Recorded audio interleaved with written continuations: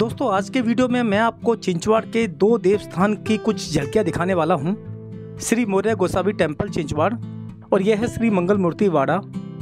दोस्तों, आज के इस वीडियो में हम ये दोनों देवस्थान, श्री मौर्य गोसावी टेंपल श्री मंगल मूर्ति वाड़ा की कुछ झलकियाँ देखने वाले हैं। ये दोनों देवस्थान चिंचवाड़ देवस्थान ट्रस्ट के अंदर आते हैं।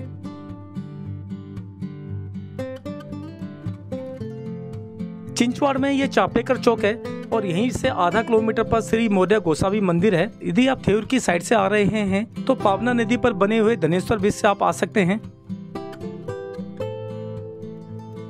यह है श्री मौर्य गोसावी टेंपल का प्रवेश द्वार।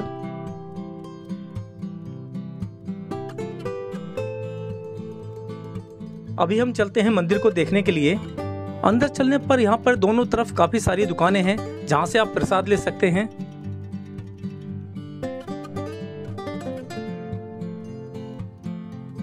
दोस्तों, श्री मौर्य गोसावी मंदिर मंगल मूर्ति वाड़ा श्री क्षेत्र मोरगांव टेंपल श्री क्षेत्र सिद्धि टेक और श्री क्षेत्र थ्योर, इन सभी को चिंचवाड़ देवस्थान ट्रस्ट मैनेज करता है। यदि आप हमारे चैनल पर पहली बार आए हैं तो प्लीज़ सब्सक्राइब दिस चैनल और बेल आइकन को ज़रूर प्रेस करें ताकि आने वाले नए वीडियो के नोटिफिकेशन आपको मिलते रहें। मंदिर में जाने से पहले यह है चिंचवाड़ देवस्थान ट्रस्ट का कार्यालय।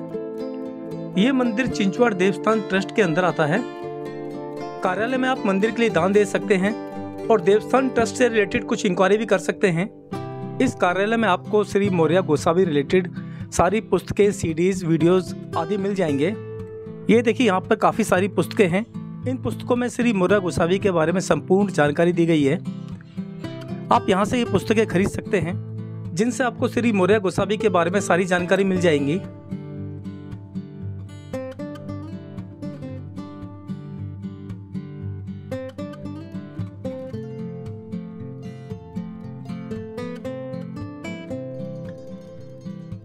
श्री मौर्य गोसावी टेंपल चिंचवड़ में पावना नदी के किनारे पर है।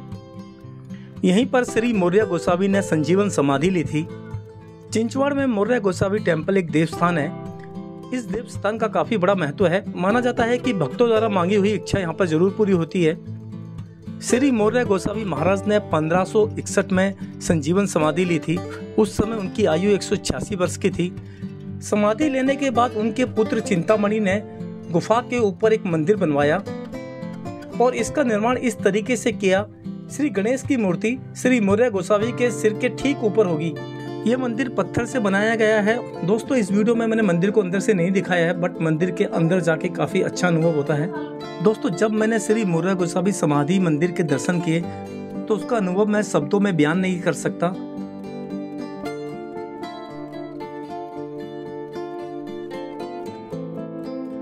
यह है मंदिर में अंदर जाने के लिए गेट। नीचे की तरफ़ मंदिर है और सबसे पहले आपको श्री मुर्रा गोसावी की समाधि स्थल है, जो आप सामने की तरफ़ देख रहे हैं, और उसके पीछे भगवान गणेश का मंदिर है। श्री मौर्य गोसावी की समाधि के अलावा यहाँ पे चिंतामणि महाराज, नारायण महाराज और धरणीधर महाराज की समाधि भी है। मोरगांव के मयूरेश्वर ने श्री मौर्य गोसावी को आशीर्वाद देते हुए कहा, आपकी आने वाली सात पीढ़ियों में मेरा अंश होगा इसीलिए इन सभी सप्त पुरुषों की समाधियाँ श्री मौर्य गोसावी की समाधि के पास मौजूद हैं।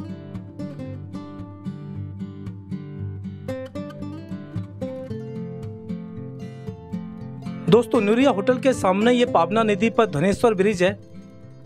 साइड में ये रास्ता जाता है श्री मौर्य गोसावी मंदिर के लिए और राइट साइड में ये रास्ता जाता है मंगल मूर्ति वाड़ा के लिए।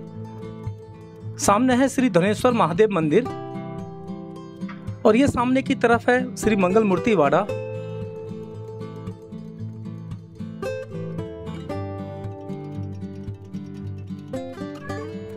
ये वाड़ा का एक बुर्ज बना हुआ है।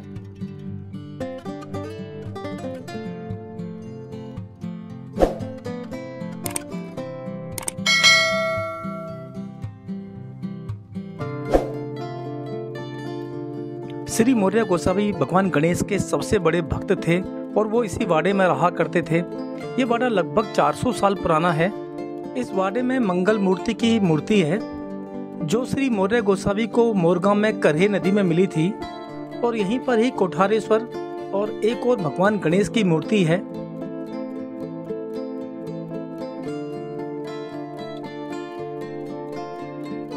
मंगल मूर्ति वाड़ा में जाने के लिए दो गेट हैं। ये है फ़र्स्ट गेट मंगल मूर्ति वाड़ा में मंदिर के सामने एक बड़ा हॉल है, जो लकड़ी से बना है।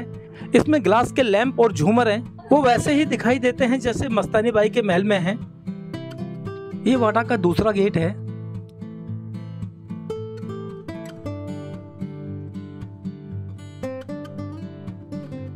श्री मौर्य गोसावी के बाद उनके उत्तराधिकारी इस वाड़ा में रहा करते थे।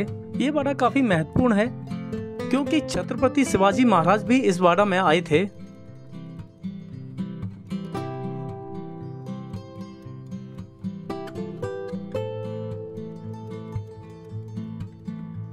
धार्मिक प्लेस होने के साथ साथ इस वाड़े की वास्तुकला भी काफ़ी शानदार है और आज भी ये वाड़ा अट्रैक्शन का केंद्र है।